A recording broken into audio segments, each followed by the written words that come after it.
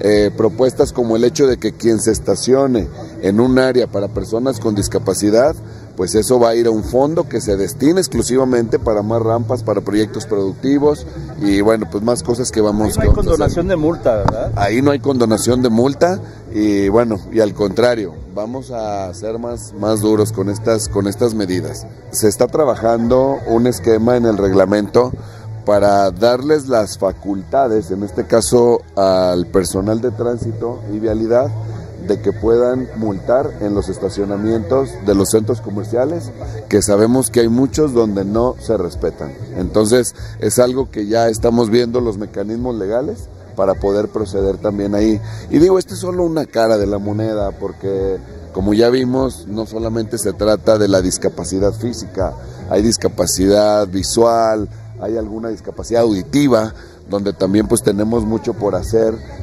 tenemos que seguir apoyando, incluso yo sé que hay muchas personas que a lo mejor ni siquiera se han acercado al municipio a solicitar un apoyo para algún aparato auditivo, donde hoy incluso ya se trabaja con algunas, este, pues ahora sí que con algunos eh, otorrinos que cuentan con impresoras 3D y donde les hacen el aparato, ¿sí? Pues ahora sí que especial y acorde a su oído para que no los lastime. Entonces, pues hay muchas cosas que tenemos que hacer.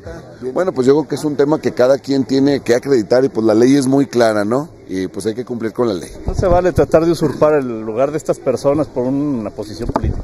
Bueno, pues yo creo que las reglas son muy, son muy claras y bueno, y finalmente pues ahí están las instancias que son las que tendrán que determinar o dirimir si alguna persona está cumpliendo con estos requisitos pero bueno, pues ustedes se dieron cuenta de la gran brecha que hay y que hay que emparejar. Y así como les digo, así como hemos tomado temas con un enfoque y que le hemos metido toda la pasión, todo el entusiasmo, pues durante la siguiente administración, que estoy seguro que vamos a seguir trabajando, durante la siguiente administración, pues vamos a trabajar muy fuerte por este sector. Vamos a ser grandes aliados y vamos, eh, pues desde luego a necesitar de los esfuerzos de todas y de todos.